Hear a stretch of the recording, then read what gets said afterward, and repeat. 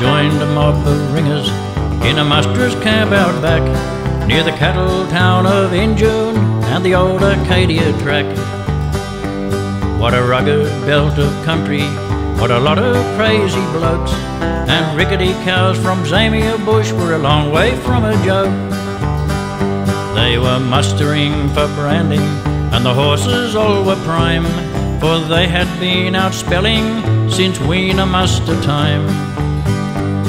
I've never seen such a mob of yangs. I asked what they were like, cause I reckoned that they all would buck and maybe kick and strike. Viv Humphreys was head stockman, a casual sort of bloke.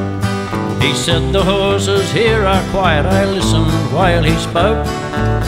He said they're just a little girthy, just a little tight. Might hump up and crow hop, but otherwise they're right.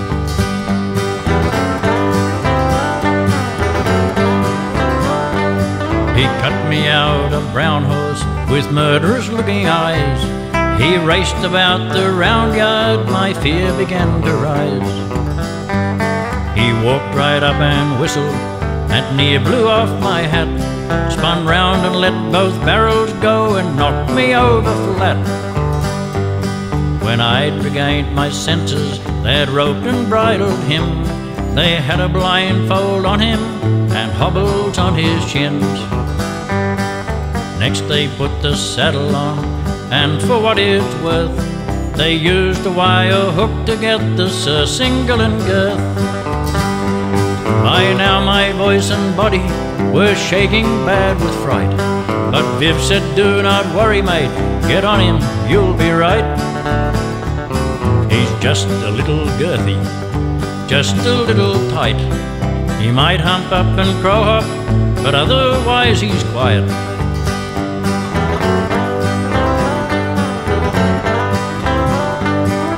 Two blokes held him by the ears, they had a twitch on his top lip. I swung into the saddle and hung on to the monkey grip. They took the hobbles off him, the nose twitch and the blind. He started squealing like a pig and didn't he unwind? He shoulder bucked, he jolted, he corkscrewed like a wheel.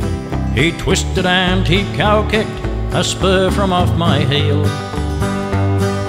Next he slipped the crupper and did a suck back in midair and pelted me and saddled in a patch of prickly pear. Well, that was many years ago. My memory goes back to the day I got that buster and I also got the sack. Humphreys walked up to me and said it's plain to see if you can't ride a quiet horse, then you're no use to me. Ah, that was many years ago. My memory goes back to the day I got that buster, and I also got the sack. When Humphreys walked up to me and said, It's plain to see, if you can't ride a quiet horse, then you're no use to me.